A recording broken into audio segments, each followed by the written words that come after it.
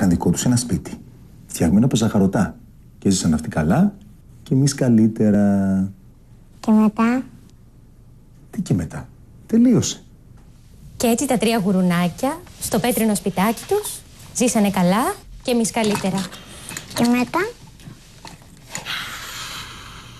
Έχω πολύ καλά νέα. Το στεγαστικό σας εγκρίθηκε. Και μετά; Και μετά, ό,τι και αν χρειαστείτε, θα είμαστε κοντά σας.